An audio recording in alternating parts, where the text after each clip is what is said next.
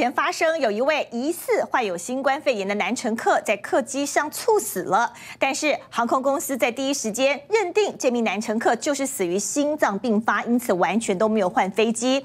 在飞机上一百七十九位旅客再往目的地洛杉矶，这让搭乘这班客机的乘客非常的不满，怒吼联合航空罔顾所有人的健康。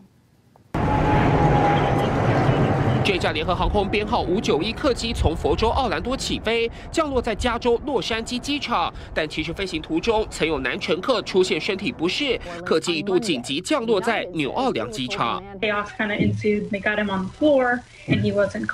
大批救护人员上机抢救，但最后男乘客依旧回天乏术，死因当下认定是心脏病发。不过有同机的其他乘客却听见死者妻子这样说：“He tested positive like a week ago.”。For COVID and that he was having symptoms of having trouble breathing and he was having the uh, couldn't see uh, couldn't taste or smell anything. Yeah. 有目击者描述，猝逝的男乘客上机时狂发抖又冒冷汗，怀疑联合航空根本没查清楚就让染疫的男乘客登机，而且事发后也没更换飞机。一百七十九名乘客搭乘原机，再从纽奥良飞抵洛杉矶。We are sharing requested information with the CDC。虽然联航后续积极展开疫调，想亡羊补牢，但其他乘客人不满，怒批联航罔顾他人健康。不过，整起事件也反映出美国新冠疫情的严重，确诊人数超过一千七百六十五万，死亡人数也突破三十一点六万人。而当前被认为是抗疫希望的疫苗，却有包含纽约、加州、华盛顿州等十四个州的州长抱怨有配送不足的情况。I failed.